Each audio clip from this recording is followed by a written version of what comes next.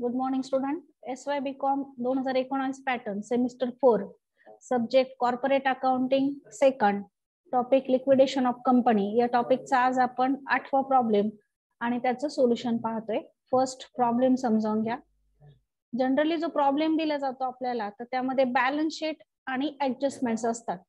परंतु काही प्रॉब्लेम असे येतात की जे बॅलन्स शीट ज्यामध्ये दिलं जात नाही तर सरळ सरळ तुम्हाला इन्फॉर्मेशन दिली जाते. आणि तसाच आजचा प्रॉब्लेम आहे ऍटलस लिमिटेडचा की ज्यामध्ये बॅलन्स शीट दिलेला नाहीये परंतु ऍसेट विकून किती अमाऊंट आलेली आहे आणि त्यातून आपल्याला कोणत्या कोणत्या लायबिलिटीज द्यायच्या आहेत तर त्याची इन्फॉर्मेशन दिलेली त्यामुळे प्रॉब्लेम जरी दिसताना छोटा दिसत असला तरी स्टेटमेंट मात्र आपल्या नेहमीप्रमाणेच आहे. आठ पेमेंट ऑर्डर आपल्याला करायचे आहेत आणि रिसिप्ट साईडला नेहमीप्रमाणे जे कॅल्क्युलेशन आहे ते दाखवायचे Atlas Limited went into liquidation on 31st March 2018. Its assets realize rupees 8 lakh, excluding amount realized by sale of securities. म्हणजे ऍटलस लिमिटेडच्या जे ऍसेट विकून पैसे आलेले आहेत ते किती आहेत? तर आठ लाख रुपये आहे. पण एक्सक्लुडिंग म्हणजे सोडून कोणती अमाऊंट सोडून? तर amount realise by sale of security G asset तारण दिलेली होती तर ती ऍसेट विकून जे पैसे आलेले आहेत ते ह्या आठ लाखामध्ये इन्क्लूड नाहीयेत. म्हणजे ते सोडून आठ लाख रुपये आलेले आहेत. मग ती सेल ऑफ सिक्युरिटीची जी अमाऊंट आहे ती आपल्याला किती आहे ती पाहावी लागेल आणि ती देखील रिसिप्ट साईडला घ्यावी लागेल. मग फर्स्ट आपण अमाऊंट रिअलाइज फ्रॉम ऍसेट म्हणून जी फिगर घेणार आहोत ती आहे आठ लाख रुपये. आणि सरप्लस येत आहे की नाही ते ऍसेटच्या किती रुपयाला ऍसेट सेल झाले त्यावर डिपेंड आहे. मग त्यासाठी पुढील ऍडजस्टमेंट पहा.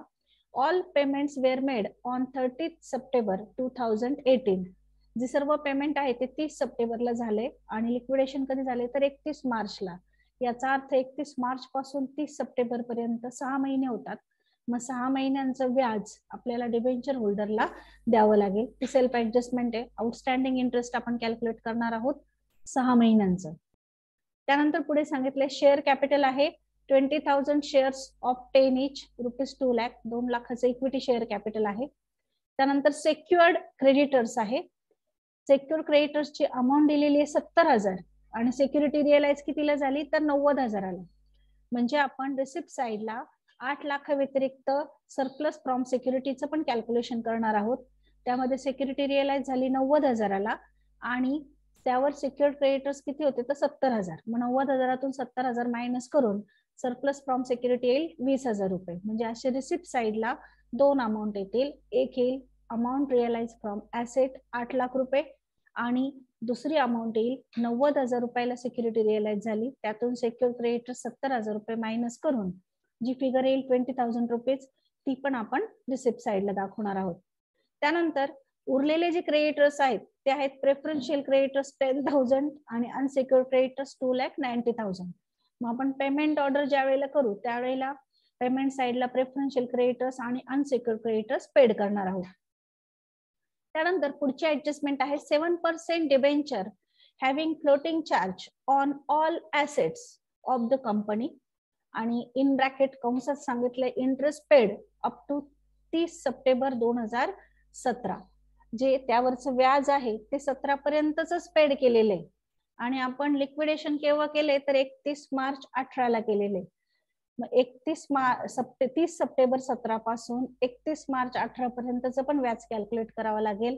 आणि पुन्हा तिथून पुढचं जे आउटस्टँडिंग आहे लिक्विडेटर मेड ऑल पेमेंटचं ते पण आपल्याला कॅल्क्युलेटर करावं लागेल. म्हणजे एक वर्षाचं व्याज आपल्याला काय करावं लागणार आहे? द्यावं लागणार आहे तीस सप्टेंबर सतरा पासून तीस सप्टेंबर अठरा पर्यंतचं म्हणजे एक वर्षाचं व्याज कॅल्क्युलेट करावं लागेल.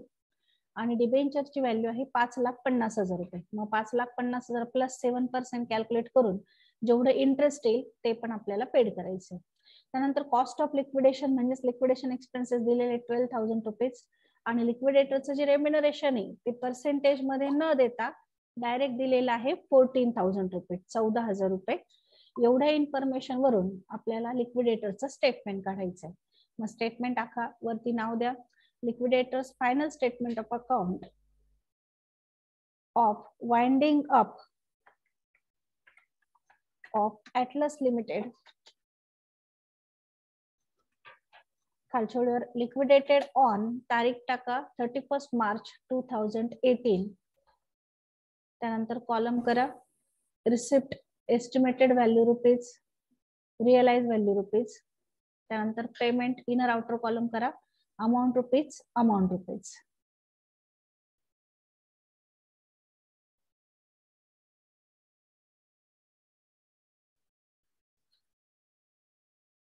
statement gap. Liquidator's final statement of account of winding up of atlas limited liquidated on 31st march 2018 column upon receipt side and payment side. अशा दोन साइड केलेल्या आहेत. रिसिप्ट साइडला अमाऊंटसाठी estimated value rupees realise value rupees payment साइडला inner outer column केलेला आहे amount rupees amount rupees आता ह्या प्रॉब्लेममध्ये बॅलन्स शीट नसल्यामुळे आपल्याकडे एस्टिमेटेड व्हॅल्यू ज्या आहेत त्या अवेलेबल नाहीयेत. तर मग आपण फक्त रिअलाइज व्हॅल्यूचा जो कॉलम आहे त्याचा युज करणार आहोत. फर्स्ट घ्या to opening balance of cash पण प्रॉब्लेममध्ये कॅश दिलेली नाहीये. म्हणून दोन्ही कॉलमला डॅश करा. एस्टिमेटेड व्हॅल्यूला पण डॅश रिअलाइज व्हॅल्यूला पण डॅश करा. त्यानंतर पुढचे हेडिंग या रिसिप्ट साइडला to amount realise from assets to amount realise from assets to amount realise from assets आता इथे आपण जनरली ऍसेटच्या किमती घेत असतो. परंतु ह्या प्रॉब्लेममध्ये जी अमाऊंट ऍसेट रिअलाइज करून आलेली ती डायरेक्ट दिलेली आठ लाख रुपये.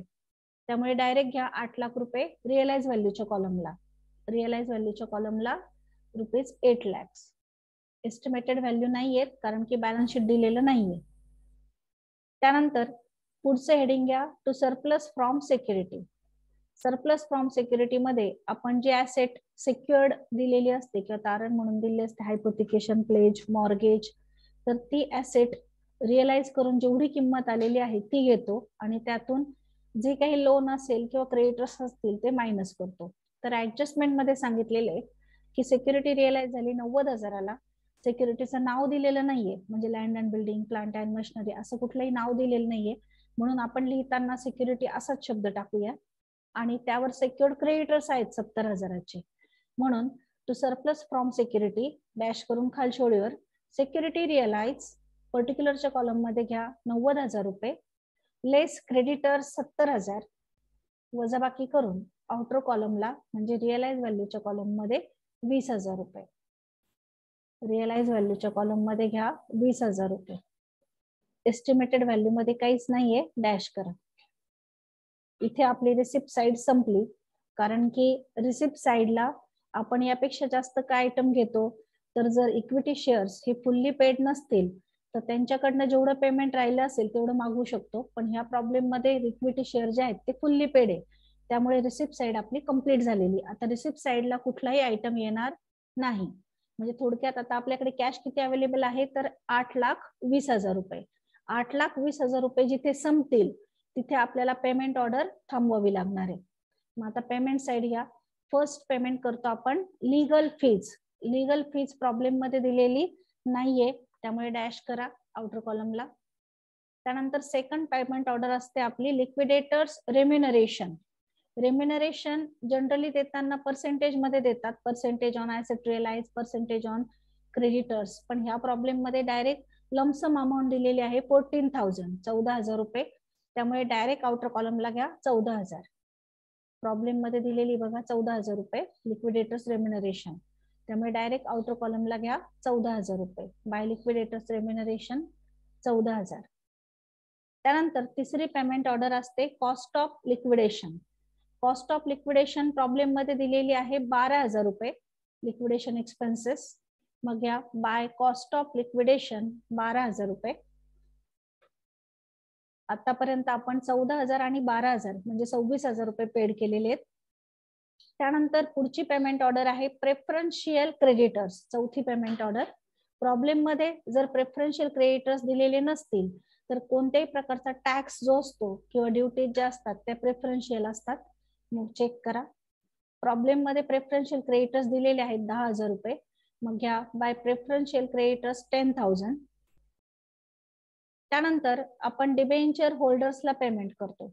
डिबेंचर होल्डरला पेमेंट करत असताना जेवढे डिबेंचर आहेत तेवढे प्लस त्यावरच इंटरेस्ट पेड करायचंय. मग प्रॉब्लेममध्ये देताना seven percent debenture having floating charge on all assets of company ते दिलेले पाच लाख पन्नास हजार. आणि इंटरेस्ट जे आहे डिबेंचरवरच ते पेड केलेले तीस सप्टेंबर दोन हजार सतरा पर्यंतच मग आधी डिबेंचर्स घ्या. बाय डिबेंचर होल्डर डॅश करून खालच्या ओळीवर. सेव्हन पर्सेंट डिबेंचर पाच लाख पन्नास हजार रुपये. इनर कॉलमला घ्या.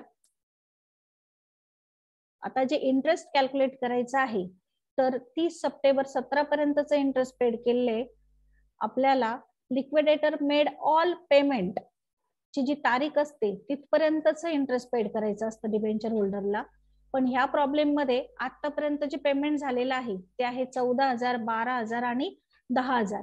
म्हणजे छत्तीस हजार रुपये पेमेंट आतापर्यंतच झालेलं. आहे त्यानंतर जर डिबेंचर होल्डरला पेमेंट करायचं ठरलं तर डिबेंचरची अमाऊंट आहे पाच लाख पन्नास हजार. मग छत्तीस हजार प्लस पाच लाख पन्नास हजार म्हणजे डिबेंचर होल्डरला ला धरून आतापर्यंतचं पेमेंट किती होईल? पाच लाख शहाऐंशी हजार होईल. आणि कॅश आहे आपल्याकडे आठ लाख वीस हजार रुपये फक्त. म्हणजे याचा अर्थ असा होतोय की जे पुढची पेमेंट ऑर्डर आहे अनसेक्युअर्ड क्रेडिटर्स ते सुद्धा आपण पूर्ण पेड करू शकत नाही.